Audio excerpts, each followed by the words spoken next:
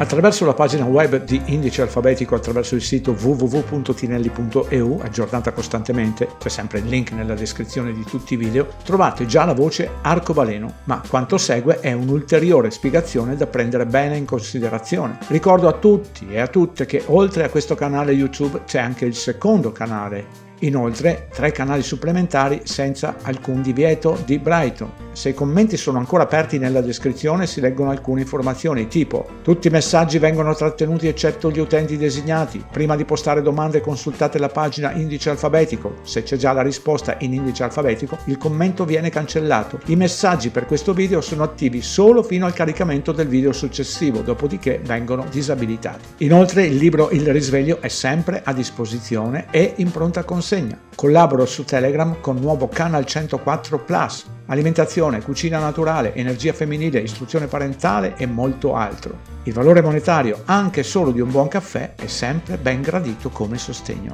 Grazie. L'arcobaleno. Secondo la narrativa, l'arcobaleno si forma quando la luce del sole si divide nei suoi colori che lo compongono. Quando si rifrange entrando dentro le goccioline d'acqua sospese nell'aria, si riflette nuovamente sul retro delle goccioline e si rifrange nuovamente uscendo dalle goccioline, ma quando si vuole duplicare questo fenomeno con una luce artificiale, gli esperimenti non funzionano a meno che non ci si affidi ad un prisma il quale divide i raggi di luce che mostrano i colori come in uno spazio tridimensionale, come fanno gli arcobaleni. Ovviamente direte, oh, ecco, l'arcobaleno all'interno ma gli arcobaleni non sono proiezioni prismatiche quando si formano come archi ben distanti, che inoltre si spostano relativamente alla posizione dell'osservatore. I veri arcobaleni sono eventi particolari che non vengono considerati in questi esperimenti. Vi siete mai chiesti perché gli arcobaleni sono visibili solo all'aperto e mai all'interno? Certo che è facile rifrarre la luce con l'uso di un prisma e proiettare i colori divisi su una superficie opaca, ma il vero arcobaleno non si può mai dimostrare senza il sole. O in alcune situazioni particolari usando una seconda fonte di luce, se non uno specchio.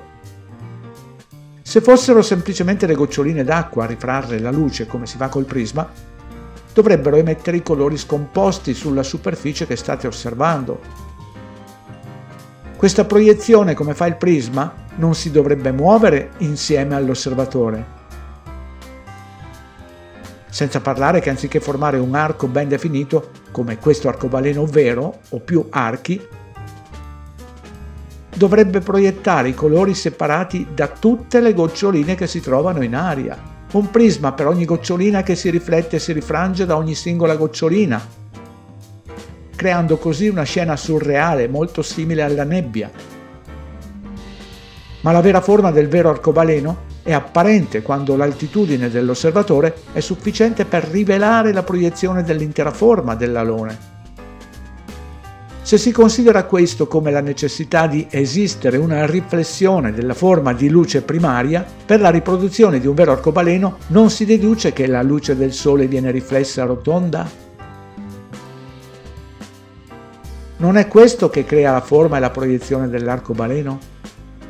Comprendere questa proiezione è simile all'inizio e alla comprensione della natura del nostro cielo, firmamento come qualcuno afferma.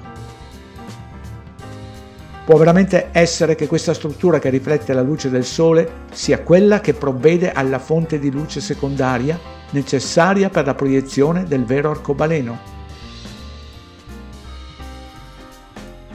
E del perché è possibile vedere l'arcobaleno solo quando il sole si trova dietro di voi. Fate le vostre proprie ricerche e fatevi sempre delle domande.